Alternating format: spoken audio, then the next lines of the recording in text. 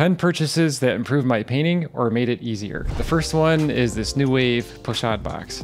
What I like is that this easily fits into my backpack and I'm more likely to grab it and go outside and do some painting. It's really well constructed and it's super simple to set up. There's no knobs to mess with, there's just a friction hinge that stays put when you adjust it to the angle that you want. Rare earth magnets hold these clamps in place and you can slide them up and down. You can fit an 8x10 vertically in this if you want to, so that's pretty decent size for such a small pochade box. The other thing I like is that the palette comes out by sliding it out the side, so that makes it very convenient to clean. These magnets come in handy because they'll hold a tin in place. That way I can squeeze the paint out into the tin and not on the palette. That way it makes it easier to transport because I don't have big piles of paint on my palette when I transport it. They're inside the tin. Sometimes I also cut out palette paper and tape it down so when I'm done, I can just peel it off, crumple it up, and put it in a bag. I don't have to bother with cleaning this when I'm out in the field. I've been experimenting with taping metal brackets onto the bottom of my plastic palettes. That way, they stick right to the pochade box and I can do watercolors. You might be wondering about storage because a lot of pochade boxes have compartments underneath where you can put your tubes and brushes in there. But that's the cool thing, all your storage goes into your backpack. And when you have this on a tripod, your backpack can hang from the bottom of the tripod and keep it from tipping over. And I can fit much more equipment into my backpack than I can in any pochade box.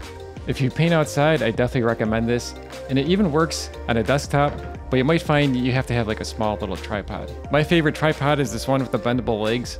That way I can adjust it at different heights. And that's actually more ergonomic because you're not like looking down all the time. You can have it at a better height. You can actually open this up so it's totally flat if you want, or you can bend this to whatever angle you prefer. I highly recommend it, it's well built, and I definitely paint more because it's so portable. This is the Slacker chair from Travel Chair, and this changed the way that I paint outside too because it's lightweight and I can take a seat when I'm painting. That's the thing is it's really uncomfortable to stand all day long. Your feet start to hurt and your lower back might ache a little bit. So it helps to like alternate between sitting and standing. This is super easy to set up. There's just some Velcro that holds it in place and it opens up so there's like a little seat on top. Now don't get me wrong, this is not like sitting on a recliner. There's no padding on here, but it definitely takes a load off and your feet won't hurt as much. It's like having a standing desk where you don't get as fatigued because you're not spending the whole day sitting and you're not spending the whole day standing. And this only weighs like maybe, got my scale here. So it weighs about two pounds, which is pretty lightweight. You can carry it by the strap just by holding it like this, or you can throw it over your shoulder. Sometimes I just hook it onto my backpack and I totally forget that I'm carrying it. Golden Open Acrylics. These definitely changed the way that I think about acrylics and the way that I use them. Here's two different kits. This is the six color intro kit, and this is another kit with seven colors plus white. I think they still have this, but the packaging might look different. So most kits include a number of colors. This one has a larger tube of white because you go through more white, and a bottle of open thinner. Open thinner can be used to loosen up paint that's starting to get tacky, and sometimes you can use it to reactivate paint that's dry to the touch. But once the paint is cured, you can't really reactivate it. This kit has one less color and the tube of white is smaller, so it's a less expensive way to try out these paints. It also includes a bottle of open thinner. So the main benefit of these is that they dry slower, and that has a big impact on the way that I paint. For one, it's easier to get like a smooth blend because regular acrylics dry so quickly, a lot of the times it tacks up before you even had a chance to finish blending it. Other techniques such as like the rub out technique where you tone the canvas and then you wipe it back with a rag to expose the white of the canvas. That's not normally possible with acrylics because they dry so fast, but with these, it's much easier. You can even use the open thinner if you find that the toned canvas is starting to tack up a little bit too much. You just put some on a rag and wipe it away and you should be able to do the rub out technique with this. Let me know in the comments if you'd like to see an entire review of Golden Open Acrylics. Water mix oils, those are a game changer too. And that's because you don't have to use thinner to thin them out or to clean your brushes. I'm really sensitive to the smell of solvents, they make me feel nauseous. So I tend to like avoid oils. And that was until I tried out a kit of these Cobra water mixable oils. I have since bought more of these kits, but here's a set from Lukas, Winsor Newton, Cobra, and Grumbacher. When I was editing this video, I recognized I made a mistake and I bought the wrong kit. These are the traditional oils. What you're looking for are the Grumbacher Max water mixable oils. I don't think they have a kit. You have to buy individual tubes. I used these Winsor & Newton paints in a recent video where I did a demo painting from the book Easy Oil Painting by Estelle Day. You might want to check that out after you watch this video. These are great when you have to paint at home where there's no ventilation and where I live, it's cold most of the year, so I can't open up the windows to get fresh air in here. And all you need to clean these out is just soap and water. You also don't need thinner to thin the paints out. You could just thin the paint out with water. And that works pretty well. The only odor that I notice is the faint smell of linseed oil. Linseed oil is just basically the oil from flax seeds. Some people have this notion that water mixable oils contain water or somehow they're like an acrylic paint. They're actually linseed oil and pigment and then they add some sort of emulsifier to it that allows you to wash it out with water. So all the blending techniques that you use with oils, you can use with water mixable oils. I really can't tell the difference, except that I can thin them with water. I'd say these are all good quality paints. I've only tried out two of them so far, but the other brands have a good reputation too. So give these a shot and see if it changes the way you think about oils. Floaterframes and Gessobords. He's definitely changed the way that I paint. I've been using Gessobords for over a decade. What first attracted me to Gessobords is that I don't have to spend time preparing panels or canvases anymore. I could just rip the wrapper off it and get started. That way I can get more paintings done. Plus I find the quality of these panels are better than what I could do myself. The wood that they use is better than what I find in the hardware store, and they're better at woodworking than I am.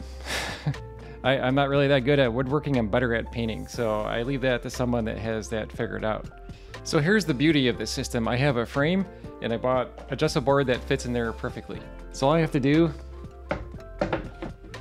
is drop my finished painting in there and you just attach it with a couple of screws. Think about all the time that you'll save. You don't have to stretch a canvas or prepare a panel with like gesso, and you certainly don't have to make a picture frame, which would take forever especially if you don't have all the equipment that you need to make wood frames. Plus I like the look of these frames, they're modern and minimalistic.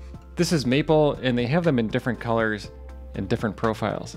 Another thing that I like about these is that the full painting gets displayed from edge to edge. A traditional frame has a rabbet that would cover up almost a quarter inch all the way around the painting. And that makes a difference on small paintings like this. But with a floater frame, you display the entire painting. If you want to watch the demo where I frame both of these paintings, I have the link in the description, or you can click the card at the top right corner of the screen. They also have other types of panels like this Aquabord which has a clay coating and a very subtle texture to it. I really like this laptop easel. The thing is, it's inexpensive, but it definitely helps me to get more painting done outdoors. That's because I don't have to set up like a big easel or even a tripod. I could just prop this up on my lap and get started. And that was something I picked up from Nathan Fowkes' book. He realized that he'd paint more often if he could have a kit that he could carry with him and just put it in his lap to get started painting outside. He also uses the same travel chair. What I like about this easel though is that it folds up into a small box that you can carry with you. It even has a handle on the side and there's a drawer for supplies. I currently have my watercolor kit in here, but I also put my gouache paints in here when I want to paint with gouache. There's room for brushes and little spray bottles to keep your paints wet. There's four different angles that you can adjust it to, and this piece of wood gets propped up in these slots. You can also work with it flat. In case you're wondering, you can't put a tripod mount on the bottom because this is actually the drawer and it's not thick enough to hold it anyways. But I find it does work well on a desktop or on your lap when I'm working outside. This Masterson palette in combination with a glass cutting board, definitely changes the way I manage my palette. This glass cutting board fits in there perfectly, and there's enough room so you can grab the edge of it and take it out when you need to clean it. If you forget to clean your palette and the paint dries on the glass, it's no problem cleaning it with one of these safety scrapers. It has a retractable razor blade, and the dried paint is no match for it. You can easily just clean it right off, no problem. The Masterson palette comes with a sponge, and a special type of palette paper that will keep regular acrylics wet for weeks. You have to be careful not to leave it in there for too long because you might get mold, but I never really had an issue with that. But the thing is, when you use open acrylics, you don't even need the sponge. I often just like mist the top of this with some water, and that's enough to keep the humidity level high enough in here. I have an entire video on how I set this up and use it with the cutting board. There's a link to it in the description below. Whether you paint with oils or acrylics, a palette like this will prevent you from wasting your paint. And that saves you money. Artist grade paints are expensive, so when you scrape them off your palette and throw them away, it's like throwing away money. And that leads me to these paint tube wringers, which will save you money because you'll be able to squeeze out every last drop of your paint from your tubes. Before I started using paint tube wringers, I actually had a metal pipe that I would use to roll out the extra paint out of a paint tube. These work a lot better because they have gears on there that will pull the paint tube through there and they're much more ergonomic than using a pipe. This one I received for free from the manufacturer, but it has no impact on my opinion of it. And I've had this one for years and it keeps on working. I have an entire video on these two paint tube wringers. There's a link to it in the description if you want to see how they work. Paddle brushes were another game changer for me. These ones are from Liquitex, and I have a couple different sizes here. There's a 4 inch, 3 inch, and I just bought the 2 inch paddle brush. What I like about them is they're more ergonomic. When you have a regular conventional handle, it's kind of awkward to hold onto it and apply a lot of pressure. But since you can grab it like this, you can apply much more force without straining your hand. And that allows you to mash the paint into the canvas and to spread it out without too much effort. A house painting brush is too thick when you have paint on here, you can actually get this to a nice point and you can paint like thinner lines like this, or you can paint wide swatches. Even if you don't paint large, these come in handy for gessoing canvases or applying gel or anything else to a canvas in large quantities. These are all the supplies I wish I had when I first started. Give them a try and see if you like them. Up next, you can watch my water mixable oil demonstration, my video on how to use a glass cutting board as a palette, or my video on how to frame small panels. Thanks for watching.